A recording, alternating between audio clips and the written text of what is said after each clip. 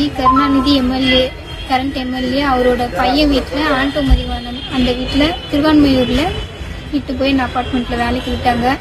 என்னை பிளாக்மெயில் பண்ண ஆரம்பித்தாங்க இந்த மாதிரி நான் உனக்கு உங்கள் அம்மாவை சாவடிச்சிருவேன் உன் தம்பி சாவடிச்சிருவேன். நீங்கள் வேலை செஞ்சு தான் ஆகணும். இல்லைன்னா உங்கள் குடும்பத்தையே நான் ஒன்றும் இல்லாமல் பண்ணிடுவேன்னு சொல்லி என்னை பிளாக்மெயில் பண்ணாங்க. பிளாக்மெயில் பண்ணிட்டு இப்போ உங்கள் அம்மா வருவாங்க. ஏஜென்ட் மூலியமா ஆறு மாசத்துக்கு நீ அக்ரிமெண்ட் போடணும். நீ கையெழுத்து போட்டே ஆகணும். நீ கையெழுத்து போடலைன்னா நான் என்ன நடக்கும்னே தெரியாது. நாங்கள் நாங்கள் வந்து எம்எல்ஏ விடு. எங்கள்கிட்ட பவர் இருக்கு. நாங்க என்ன வேணா பண்ணுவோம் அப்படின்னு சொன்னாங்க.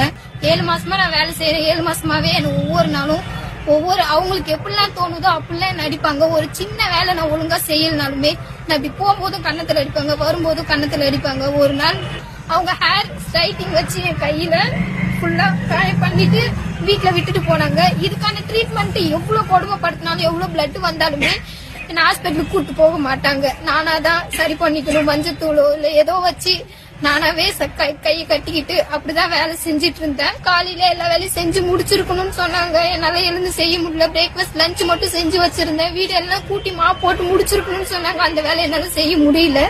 அவங்க வெளியே போறது நிறுத்திட்டாங்க. போகல. எனக்கு டைமுக்கு நீ வரல. என் கூட எனக்கு ஹெல்ப்புக்கு என்னால வர முடியாது. ஏன்னா வீட்டு வேலை முடிக்கலன்றனால நான் ஒரு நாள் ஃபுல்லா ஒரு குழம்பு கண்ணி வச்சு காலையில ஆரம்பிச்சாங்க. நைட்டு பதினோரு மணி வரைக்குமே. அதால என்ன அடிச்சாங்க. என் தலையில வாயில வாயில இருந்து பிளட் வருது. என்னை விட்டுருங்க நான் கெஞ்சுறேன். என்னை விட்டுருங்க. நான் வீட்டுக்கு போறேன். என்னை விட்டுருங்கக்கா என்னால முடியலன்னா உங்க காலை புடிச்சு கெஞ்சுறேன். அப்படியும் விடல.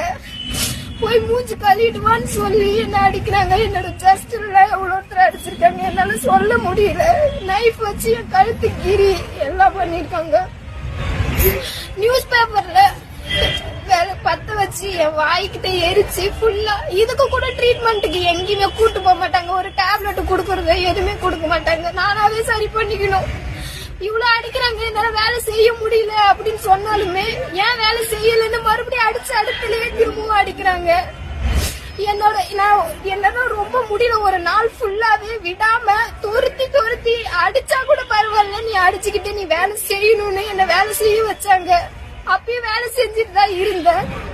என் ஃபேஸே மாறிடுச்சு. என் தலைமுடிலாம் வெட்டி என்ன என்னால முடியல. என்- என்ன பண்றதுன்னு என்னால ஒரு சாக போற நிலைமையில இருந்தேன் நான். அப்பயுமே நான் ஹாஸ்பிட்டலுக்கு கூட்டு போல சரி பண்ணு வீட்டுல இருந்து ஐஸ் கட்டி எடுத்து கொடுக்குறாங்க. தலையில வச்சு சரி பண்ணி வீங்க இருக்க இடத்துல வை சரி பண்ணுன்னு இவ்வளவு கொடுமைப்படுத்திட்டு திரும்பவும் நீ வந்து இதெல்லாம் சொன்னா வெளியே சொன்னா உன்னை காப்பாத்துறதுக்கு யார் இருக்கா? நீயே இல்லாத நாய். நான் பெரிய எம்எல்ஏ வீட்டுல இருக்கிறேன். எம்எல்ஏ மருமவன் நான் ஒரு வார்த்தை சொன்னா உன்னை உங்க வீடே இல்லாம பண்ணிடுவாங்கன்னு சொல்லி என்ன அவ்வளவு பிளாக்மெயில் பண்ணாங்க. நான் இப்படியே உன்னை வெளியே அனுப்பிச்சுனா எவன் வந்து கேட்பான் கேட்டா எம்எல்ஏ வீடுன்னு சொன்னா பொத்திக்கிட்டு போவானுன்னு சொல்லுவாங்க. அப்ப இல்லாதவங்க எல்லாருமே அவங்களுக்கு அடிமையா அவங்கள்ட்ட அடி வாங்கிட்டே தான் இருக்கணும். நம்ம எங்கிட்ட ஒரு வார்த்தை கேட்க கூடாது. கேட்டா நீயே இல்லாத நாயின்ட்டு என்ன அவ்வளவு கொடுமைப்படுத்துறாங்க.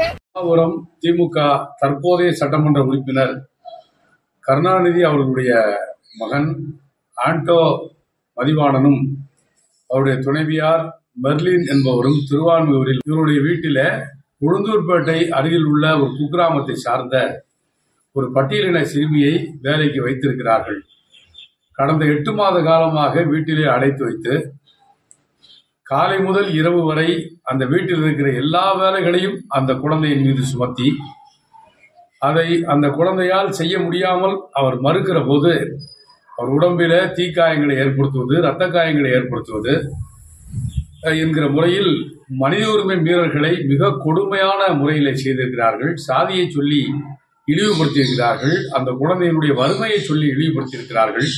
இப்படிப்பட்ட அந்த குற்றவாளி ஆண்டோ மதிவாணன் மீதும் அவருடைய துணைவியார் மெர்லின் மீதும் எஸ்சிஎஸ்டி வன்கொடுமை தடுப்பு சட்டத்தின் கீழ் உடனடியாக வழக்கு பதிவு செய்திட வேண்டும் கைது செய்திட வேண்டும்.